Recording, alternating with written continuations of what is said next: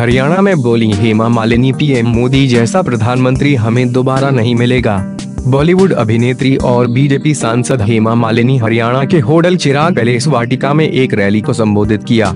विधानसभा चुनाव के चलते अपने इस संबोधन में हेमा मालिनी ने पीएम मोदी और प्रदेश की खट्टर सरकार की जमकर तारीफ़ की।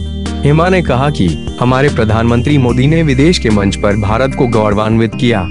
मुझे यकीन है कि भारत एक सुर तक हाथों में है। उनके जैसा प्रधानमंत्री हमें फिर से नहीं मिलेगा।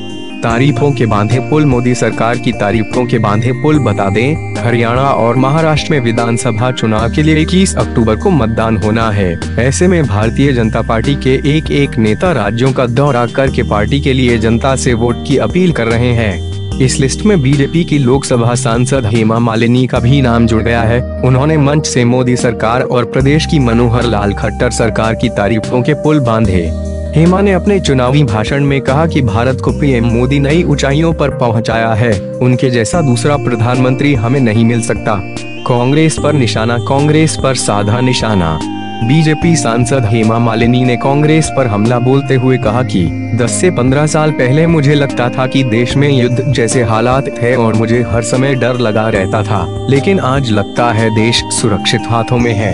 आपसे मेरी अपील है कि किसी और पार्टी को सपोर्ट करने के बारे में न सोचें। एक बार फिर प्रदेश में भाजपा सरकार को सेवा करने का मौका दें।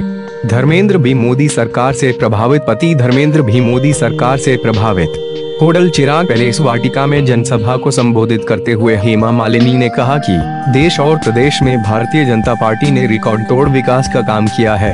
हेमा ने कहा कि बीजेपी नीतियों और पीएम मोदी से ही प्रभावित होकर उन्होंने पार्टी ज्वाइन की।